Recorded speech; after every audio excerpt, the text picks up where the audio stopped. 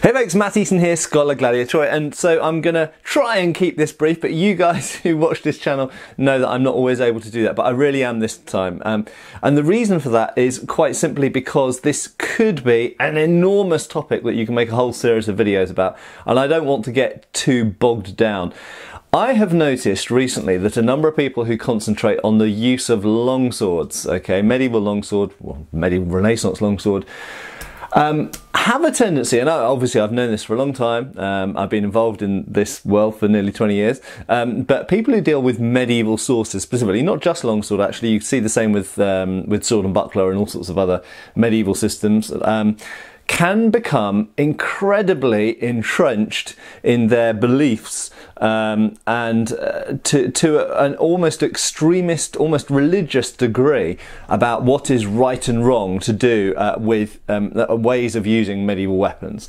And um, I have noticed that one of the things that has been talked about recently, and some people like the way that they talk about this online, it like dumbfounds me. Um, they're talking about the way of cutting. Now, cutting is something that's always been popular for particularly people with uh, doing longsword. Um, uh, I don't know why that is, particularly for longsword, but people who are doing longsword take um, cutting practice and cutting form very seriously. If we're honest about this, it's probably a little bit of a hangover and a little bit of an influence from Japanese martial arts people doing saber or backsword or langmesser or uh, rapier or side sword or um, sword and buckler tend not to be quite so uh, fixated on, on cutting. But anyway, I'm not saying at all that cutting is bad. Cutting is good, and I love cutting. Okay, um, so do it, do it lots. But I have noticed there's an almost, um, well, like I say, an, an extremist level of evangelical um, kind of uh, ranting about how you must and mustn't cut.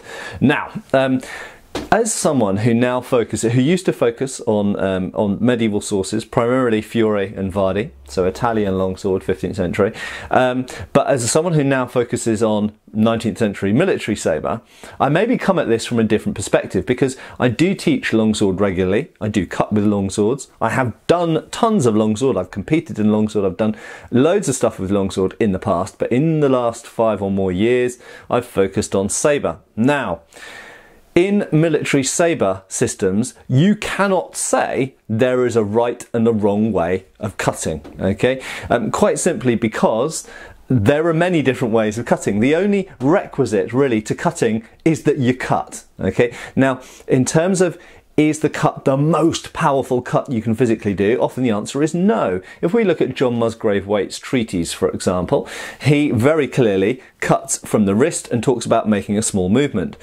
And he's explicit to state that's not because it makes the most powerful cut, because that's going to chop the most um, tatami mat, but quite simply because he is his priority is hitting the target and not being hit. That is making a cut that is as fast and as direct as a thrust. That is one of the key uh, underlying principles of John Musgrave Waite's entire system. And bear in mind that at the time um, that he was regarded as pretty much the foremost saber, military saber instructor in the entire country. And even after he was dead, people were still saying, yeah, if you want to learn about saber, read Waite's book.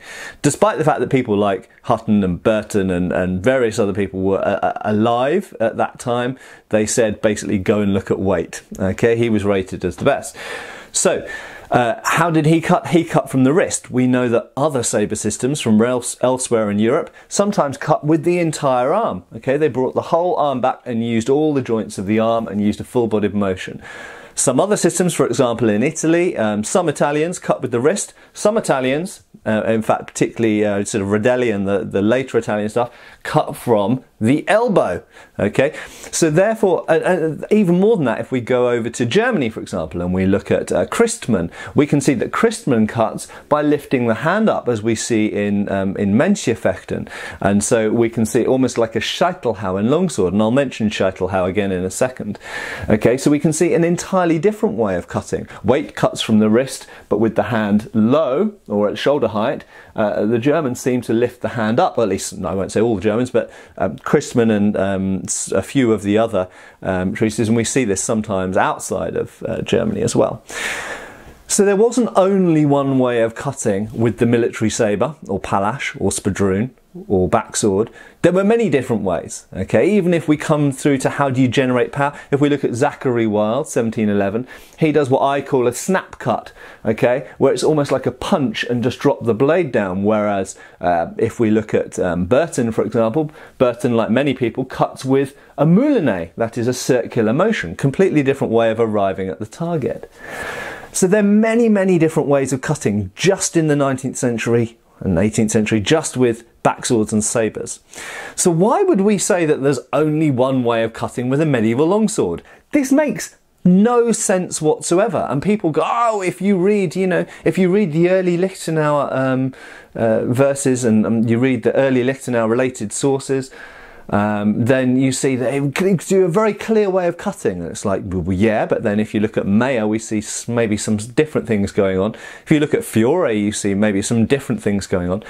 And one of the things that's kind of got my goat recently is the number of people who have internally created a religion of the longsword for themselves whereby push pull of the grip is wrong. This is wrong, okay? Doing this where where the hands uh, push and pull like this rather than uh, moving the, I can't do it in here because of the space, moving the arms as Mike Edelson would uh, have us do with cutting, which I'm not saying is wrong at all, but say, saying that one is wrong and one is right. This is complete bullshit, okay? It's complete and utter bullshit. Why do you think that a weapon that was in use for about what two, three hundred years, okay, across all of the continent of Europe, would only have one correct way of cutting it.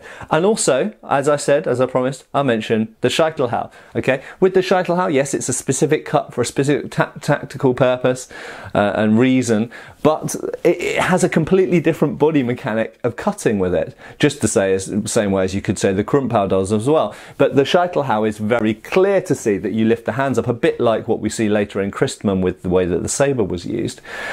So there isn't only one way to cut. You can't say that push pull is wrong and that, uh, or even another way to grip. You can't say that you must only put the hands between the, the quillons and the pommel. You must not grip the pommel. Sorry.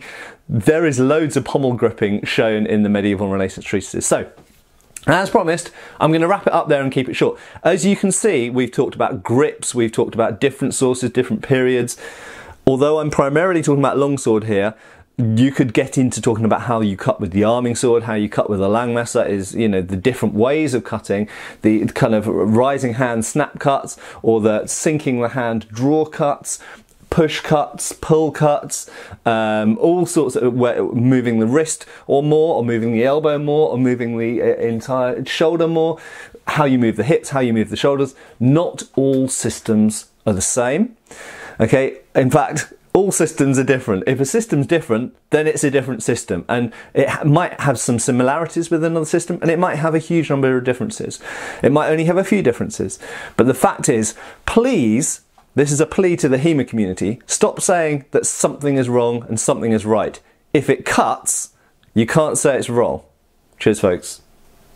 Thanks for watching. Please subscribe. We've got extra videos on Patreon, t-shirts on Spreadshirt, and I hope to see you for the next video.